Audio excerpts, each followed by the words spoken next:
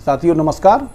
साथियों, आज का विषय ज्यूरिक्शन को लेकर के है, माने क्षेत्राधिकार या अधिकारिता, और ऐसे मामले जिनमें उचित अधिकारिता या ज्यूडिक्शन में नहीं दाखिल हैं, या आपको ऐसा प्रतीत हो रहा है कि अब मुझे इस न्यायालय से न्याय की आशा नहीं है तो उनको हम ट्रांसफ़र कैसे करवाएँ, और किस स्तर तक वो ट्रांसफ़र कराने के लिए डिले किए जा सकते हैं। जब तक ट्रांसफ़र ना हो जाए, तब तक कार्रवाई कैसे रोकें। दोस्तों, इस संबंध में हम जब दंड प्रक्रिया संहिता देखते हैं तो धारा 406 सीआरपीसी ये कहती है कि जब कभी ऐसा कोई मामला जो किसी उच्च न्यायालय के किसी अधीनस्थ सेशन न्यायालय में है और उसको किसी अन्य दूसरे उच्च न्यायालय में या उस उच्च न्यायालय, दूसरे उच्च न्यायालय के दूसरे सेशन खंड में। उदाहरण के तौर पर समझते हैं, बहुत गौर से समझने वाली बात है, अधिकांश लोग समझ नहीं पाते हैं। जैसे मान लेते हैं कि कानपुर नगर में कोई मामला सेशन ट्रायल चल रहा है, जिसको कोई व्यक्ति मध्य प्रदेश के इंदौर सेशन कोर्ट में ट्रांसफ़र कराना चाहता है। तो ऐसे मामले के फैक्ट बताते हुए ट्रायल में क्या समस्याएँ आ रही हैं, इसको क्यों अंतरित कर दिया जाए? दोनों पक्षकारों में से कोई एक ऐसे ट्रांसफ़र एप्लीकेशन को हानेबल सुप्रीम कोर्ट के सामने पेश करेगा। ये धारा 406 सीआरपीसी कहती है। और माननीय उच्चतम न्यायालय उस मामले को समझ करके ऐसे अंतरण का या ट्रांसफ़र का आदेश जारी कर सकता है। दोस्तों, ऐसे कई मामले हुए हैं, आपने जानकारी में होंगे, जिनको वहाँ, यहाँ से ट्रांसफ़र दिल्ली किया गया और दिल्ली में एक साथ सभी का ट्रायल चलाया गया।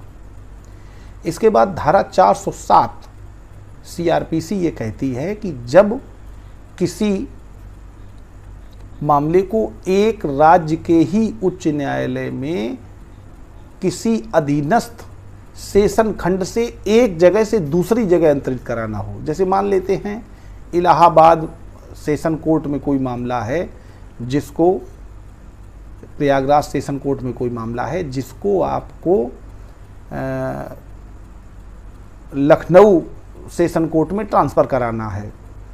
दोनों में से कोई एक ऐसे उस जगह पर निवास कर रहे हैं और ऐसी कई स्थितियाँ आ गई हैं। आपको लग रहा है कि यहाँ अब हमें न्याय नहीं मिल पाएगा।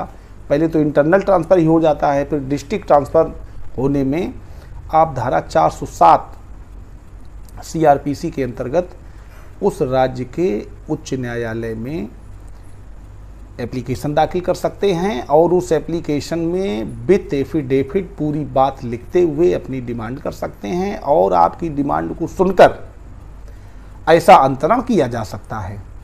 अब दोस्तों, किसी एक सेशन खंड में, एक न्यायालय से दूसरे न्यायालय में कैसे ट्रांसफ़र कराते हैं? सेशन खंड का मतलब होता है, जैसे मान लेते हैं कि डिस्ट्रिक्ट जज का कोर्ट है, जिसको सेशन कोर्ट कहेंगे क्योंकि यहाँ पर क्रिमिनल प्रोसीडिंग की बात हो रही है तो जो डिस्ट्रिक्ट जज होते हैं, उनको वो दो भाग में डिवाइड होते हैं। एक तो डिस्ट्रिक्ट जज जब वो सिविल मामले देखते हैं और एक सेशन जज जब वो क्रिमिनल मामले देखते हैं तो अब हम इसको सेशन कोर्ट या सेशन जज बोलेंगे। सेशन जज के अधीनस्थ कई और एडिशनल सेशन जज होते हैं। उन सेशन जजेस के यहाँ कोई मामला है, उस मामले को वापस इन्हीं सेशन कोर्ट में लाना है या एक कोर्ट से दूसरी कोर्ट में ले जाना है। ऐसी स्थिति में धारा 408 सीआरपीसी के अंतर्गत सेशन जज को माने डिस्ट्रिक्ट जज के यहाँ आवेदन दाखिल होता है कि क्यों न इस मामले को इस तरह से अंतरित कर दिया जाए। अब मुझे न्याय की आशा नहीं रही है। इसमें और भी समस्याएँ हैं, जो भी जिस तरीके से जो आप ग्राउंड रखना चाहें ग्राउंड पर बात किसी और दिन कर लेंगे। अभी बताना यह है कि किस प्रकार के ट्रांसफ़र को, कहाँ उसकी एप्लीकेशन दाखिल करनी चाहिए।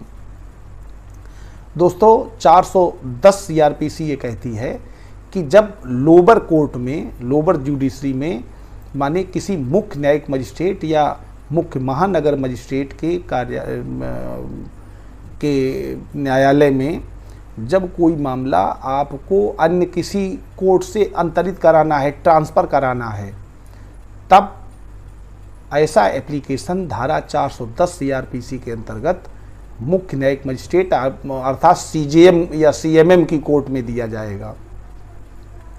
और सीएमएम को पूरी बात सुनने के बाद, बताने के बाद कि क्या समस्या है, क्यों क्यों इसको ट्रांसफ़र कर दिया जाए, वहाँ से किसी अन्य न्यायालय में, और वो ट्रांसफ़र कर सकते हैं।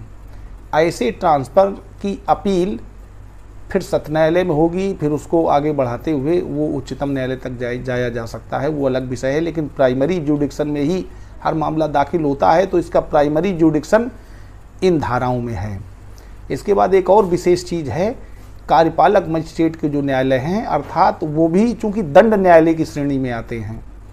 दंड न्यायालय छः प्रकार छः वर्ग हैं दंड न्यायालय के, और उन छः वर्गों में सबसे जो लोएस्ट वर्ग है, माने सबसे नीचे का न्यायालय है, वो कार्यपालक मजिस्ट्रेट का न्यायालय है। उसके अंतर्गत जब कोई एक मामला ट्रांसफ़र कराना है तो धारा चार सौ 411 सीआरपीसी के अंतर्गत प्रार्थना पत्र जाता है। एक कार्यपालक मजिस्ट्रेट के न्यायालय से दूसरे कार्यपालक मजिस्ट्रेट के न्यायालय में कोई मामला अंतरित कराने के लिए इन धाराओं में प्रार्थना पत्र देना होता है। दोस्तों, मामले सभी उचित जुडिक्शन की कोर्ट में ही दाखिल होते हैं, क्योंकि आरोप पत्र आने के बाद पुलिस का काम है सही जुडिक्शन वाले मामले में सही जुडिक्शन वाले कोर्ट में उस आरोप पत्र को दाखिल करना।